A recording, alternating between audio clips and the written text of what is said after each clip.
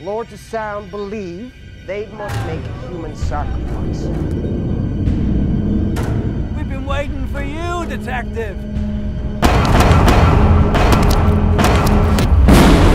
This town is cursed. And old Jack is just gonna keep coming back from the dead to seek his revenge until the curse is lifted. Did they ban Halloween? It should be considered law in this town. So Nan, so what time's the party tonight? Told everyone seven, but come back half five and we'll get ready.